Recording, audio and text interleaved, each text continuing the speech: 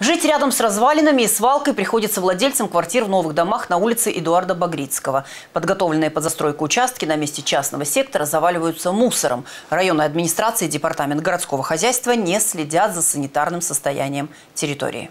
На огромном пространстве, раньше занятом старыми частными домами, поместится новый микрорайон. Часть домов давно заселена. До того, как застроят весь участок, пройдет еще много времени. Старые развалины в таких случаях неизбежное зло. Их уберут позднее при расчистке строительной площадки. Так происходит во всех, даже высокоразвитых странах. А вот стихийная свалка наша далекая цивилизации особенность. Где сносят старые дома, обязательно собираются кучи мусора. Кто несет его, знаю, что нельзя. Но побеждает свинская привычка гадить, где удобно удобно. И давно, уже года два, если не больше. Давно, как поваляли вот тут вот и частных эти вот дома, и так оно стоит и все. Это же первая станция Черноморской дороги, такого бардака еще не было.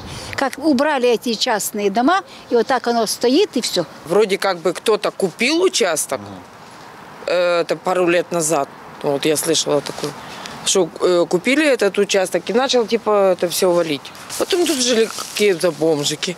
И вот это в прошлом году пожар был.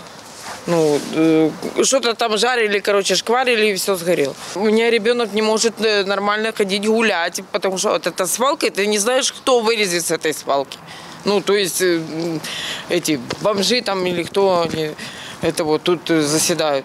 Заседают тут не только пугливые бомжи, но и наркоманы, что гораздо хуже. Они ограбить и убить могут, чтобы раздобыть деньги на свою отраву. А гореть свалка будет, как уже горело. Топливо каждый день прибавляется. В департаменте городского хозяйства и районной администрации очевидно считают, что так и должно быть. Если плохо воспитанная часть народа загаживает город, убирать не обязательно. Нормальные граждане потерпят. Зарплату чиновникам все равно платят.